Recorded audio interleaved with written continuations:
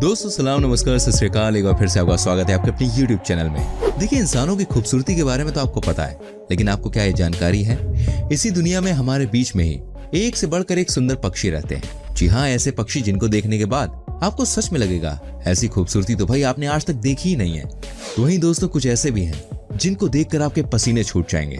इस वीडियो को आप एंड तक देखिए, क्योंकि लास्ट में आपको ऐसे पक्षी देखने को मिलेंगे, जिनको देखने के बाद आपके पैरों तले ज़मीन खिसक जाएगी। और भाई देखिए, हमने एक न्यू चैनल बनाया है, जिसका नाम है फैक्ट बाज़ार प्लीज़ उसको भी सब्सक्राइब कीजिए।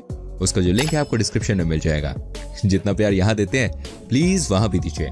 Now let start video number one cloud antelope दोस्तों ये बात तो आप भी जानते हैं कि हिमालय पर्वत पर एक से बढ़कर एक रहस्य छिपे हुए हैं। लेकिन आज हम उनमें से ही एक रहस्य से पर्दा उठाने का काम करेंगे। जी हाँ। हम आपको दिखाने वाले एक ऐसी चीज़ जिसको देखने के बाद आप चौक जाएँगे। आप ये देखिए, इस खूबसूरत जीव को। इसको कहते हैं क्लाउड एंटीलोप नेपाल के हिमालय पर्वत पर यह खूबसूरत जीव रहता है। कहते हैं कि दुनिया का सबसे खूबसूरत जीव है। वाकई में दोस्तों, नेचर ने इनको बहुत खूबसूरत बनाया है। कहा जाता है कि ये बहुत ही रेयरली ही दिखते हैं। लेकिन दोस्तों, एक बात तो तय है।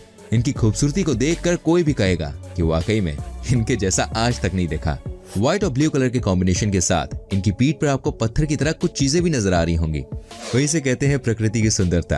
आई एम श्योर बहुत सारे लोगों ने इस जीव के बारे में कभी सुना भी नहीं होगा। लेकिन आप ही देख लीजिए इनको। इनको देखने के बाद भाई किसी का भी मूड बदल जाए। ये अमेजिंग है। Number two keel billed toucan दोस्तों, जैसे इनका नाम है ना, वैसे इनका काम भी है। ये वाकई में अपनी खूबसूरती से किसी को भी किल कर सकते हैं। आपको बता दूँ इन्हें आप हमारे साथ डिजिटल प्लेटफॉर्म पर ही देख लीजिए, क्योंकि ये पक्षी दुनिया की सबसे महँगी बर्ड्स में से एक है। इसकी कीमत आप जानते हैं? करीब करीब चार लाख रुपए है। साथ ही पक्षी कैरिबियन कंट्री में ही देखे जाते हैं। आपको बता दो, इस पक्षी को खरीदने से पहले पुलिस से भी परमिशन लेनी होती है, क्योंकि इनको कोई भी अपने घर लाके यूँ ही पाल नहीं सकता। एक तो आप इनकी खूबसूरती देख सकते हैं, और दूसरी बात जो इस पक्षी को सबसे अलग बनाती है, वो ये है कि आप इनके सामने किसी की भी आवाज़ में बोल लीजिए, ये आपकी नकल उतार देते हैं। ये है भाई इस पक्षी की खासियत। आपने गौर किया होगा, इस पक्षी का शरीर बहुत कलरफुल है। ऐसे में दोस्तों इनका निकनेम भी है रेनबो बेल्ट टुकैन जी हाँ इनकी बॉडी बिल्कुल रेनबो की तरह लगती है, बिल्कुल कलरफुल ये पक्षी 20 सेंटीमीटर लंबे होते हैं तो वहीं चार किलो वज़न वाले होते हैं। ये रात को भी अपने खाने की तलाश में निकलते हैं। साथ ही आपको जानकारी के लिए बता दूँ, ये पक्षी बारिश होते ही अपनी बॉडी का कलर भी चेंज कर लेते हैं। कमाल की बात है भाई। क्या आपने इससे पहले इतने खूबसूरत कोई पक्षी देखे थे? वाकई में पक्षी किसी का भी दिल जीत ले।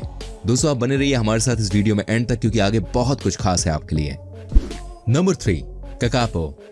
दोस्तों, आप इस पक्षी को देख लीजिए। क्या कहेंगे आप इस बर्ड को देखकर? है ना? ये बहुत ज़्यादा खूबसूरत। आपको बता दो, ये बर्ड सिर्फ़ न्यूजीलैंड में ही पाई जाती है। जी हाँ ये दुनिया में अब सिर्फ़ और सिर्फ़ 125 की संख्या में बची हुई है। इनके बारे में कहा जाता है कि ये बहुत ही तेज पक्षी होते हैं। और एक बार जो ये सीख जाते हैं ना, उसके बाद तो ये फटाफट कोई भी काम करने लग जाते हैं। इनकी जनसंख्या कम होने की वजह यह है कि ये पक्षी 10 सालों में सिर्फ़ तीन बार ही मीटिंग करते हैं। इमेजिन कीजिए, जब 10 साल में तीन बार कोई पक्षी मीटिंग करेगा तो उनकी आबादी कैसे बढ़ेगी? हालाँकि न्यूजीलैंड में इन्हें विलुप्त होने से बचाने के लिए बहुत काम भी किया जा रहा है, लेकिन एक बात तो तय है, पक्षी वाकई में बड़े खूबसूरत है। इसमें कोई शक ही नहीं है। नंबर फोर किंग वॉल्चर दोस्तों, जब भी बात गिद्ध की आती है तो वही सब डर जाते हैं। सबके मन में वही बात बार बार आती है। एक ऐसे पक्षी जो किसी के मरने का इंतज़ार करते हैं, ताकि जानवर मरे और ये अपना पेट भर लें। लेकिन दोस्तों, अब जो आपको किंग वल्चर दिखाने जा रहे हैं ना, उसको देखने के बाद आपकी शायद सोच बदल जाए। जी हाँ अब ये देखिए किंग वल्चर को। ये आपको दूसरे वल्चर से अलग लगे कि नहीं दिखने में? आप इनके गले में देखिए, ये कितने अलग हैं। ये पक्षी देखे जाते हैं अमेरिका में। आप इनके सिर को देखिए, ये कितने खूबसूरत लगते हैं। वैसे दोस्तों, आपको बता दो, इनकी खूबसूरती पर आप मत जाना, क्योंकि ये बाकी गिद्ध की तरह अटैक करते हैं। आगे और पक्षियों से आपको मिलवाने वाला हूँ। अभी आप मुझे बताइए, कहाँ से हमारी वीडियो देख रहे हैं? किस गाँव से, किस शहर से? लिखे कॉमेंट सेक्शन में नाम। और जानिए एक और पक्षी से। नंबर फाइव ड्रैगोपैन दोस्तों, ये पक्षी आपको देखने को मिल जाते हैं हिमालय के एरिया में। वाकई में इनको देखकर कोई कह ही नहीं सकता कि इनकी खूबसूरती किसी से भी कम है। जी हाँ अब देखिए इनकी ब्राउन कलर की बॉडी को। लेकिन ऊपर का हिस्सा इस बर्ड का ऑरेंज कलर का है। साथ ही गला ब्लू कलर का। दोस्तों, क्या इससे ज़्यादा कोई कलरफुल बर्ड हो सकती है? आप ये देखिए मेल ट्रेगोपैन भी किसी से कम सुंदर नहीं होते हैं। इनकी बॉडी पर भी छोटे छोटे से स्पॉट होते हैं। लेकिन दोस्तों, ये सभी स्पॉट्स इनकी खूबसूरती को और बढ़ाते हैं। कमाल की सुंदरता है इस पक्षी की। एक बात और जो इनके बारे में कही जाती है, वो बात यह है कि ये बहुत ही शर्मीले किस्म के पक्षी होते हैं। जी हाँ इनको देखकर भाई किसी का भी दिल कहे, वाह, मज़ा आ गया। नंबर सिक्स फ्रिगेट बर्ड दोस्तों, सबसे पहले आप इस बर्ड को देखिए ये बहुत ही खूबसूरत लगते हैं। आपको देखकर इन्हें ऐसा नहीं लगता कि इन बर्ड्स के पास स्पेशल गुब्बारा है। जी हाँ आपको बता दो, ये जो लाल रंग का आप गुब्बारा देख रहे हैं ना, ये बहुत ही अलग चीज़ है। ये देखिए, कैसे यहाँ पर ये सारे के सारे फ्रिगेट बर्ड एक साथ अपना लाल रंग का गुब्बारा फुलाकर बैठे हुए हैं। आप जानते हैं क्यों? दोस्तों, ऐसा इसलिए क्योंकि ये फ्रिगेट बर्ड्स अपने फीमेल्स को अट्रैक्ट करते हैं इन लाल गुब्बारों से। जी हाँ दिन में कम से कम दो से तीन घंटे तक इसी तरह बैठे रहते हैं, ताकि कोई फीमेल भाई इनसे अट्रैक्ट हो जाए और ये अपना घर बसा ले। वही कहा जाता है कि एक ऐसे पक्षी है जो दूसरे पक्षियों का खाना छीन कर खाने के लिए जाने चाहते हैं। लेकिन दोस्तों, सबसे बड़ी बात यह है कि शिकार करने के मामले में ये पक्षी किसी से कम नहीं है। आप ये देखिए ना, कैसे पक्षी मछलियों को पकड़ रहे हैं, वो भी समंदर से।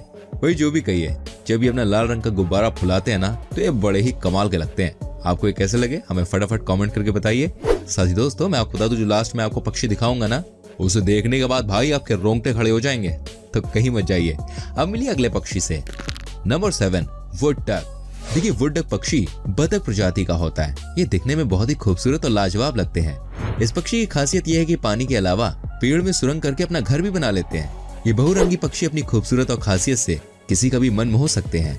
वुड डक नॉर्थ अमेरिका के जंगल के दलदलों में निवास करता है और इनकी प्रजाति और संख्या दुनिया में बहुत ही सीमित है। लेकिन दोस्तों आप खुद ही देखिए ये कितने खूबसूरत होते हैं। इनके बारे में ऐसा कहा जाता है कि ये बड़े ही चालाक किस्म के होते हैं। अगर ये किसी शिकार पर नज़र जमा लेना तो उसको शिकार करके ही मानते हैं। ऐसे आपको बता दूँ, चाइना देश में बतख का इस्तेमाल पुलिस वाले क्रिमिनल्स को पकड़ने के लिए करते हैं।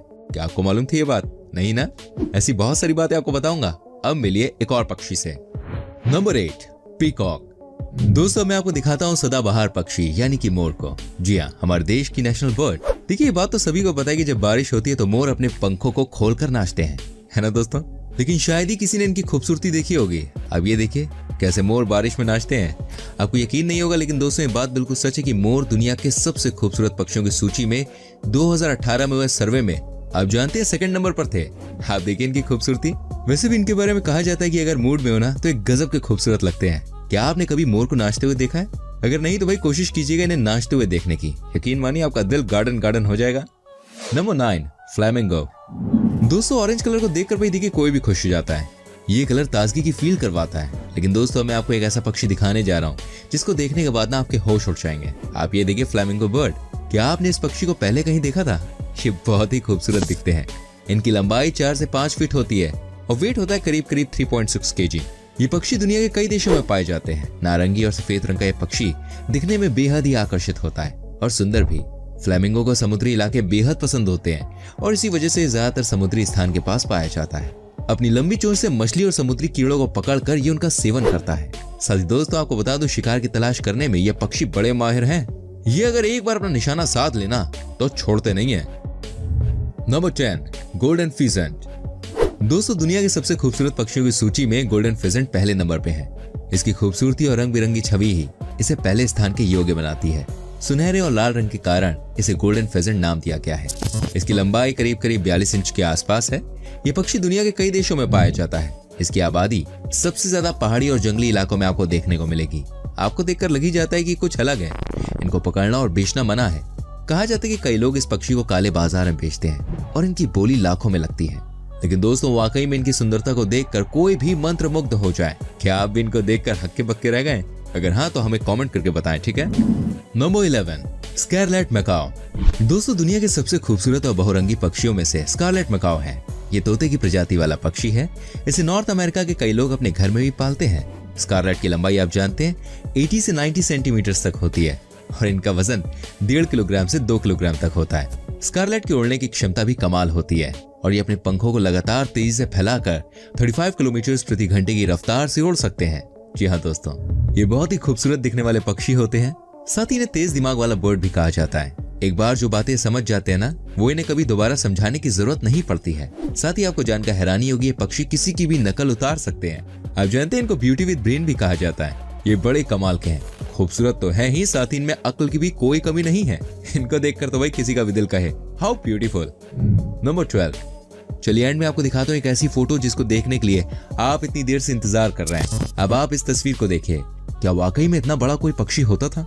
आपको लगेगा, नहीं भाई, नहीं होते होंगे। लेकिन इतिहास कहता है कि पक्षी बड़े बड़े होते थे। कुछ तो इतने बड़े कि ये बड़े बड़े जानवरों को भी अपने चंगुल में फंसा लेते थे। जी हाँ जो तस्वीर देख रहे हैं ना? इसमें एक पक्षी इंसान को अपना शिकार बनाने की कोशिश कर रहा है। आपको क्या लगता है?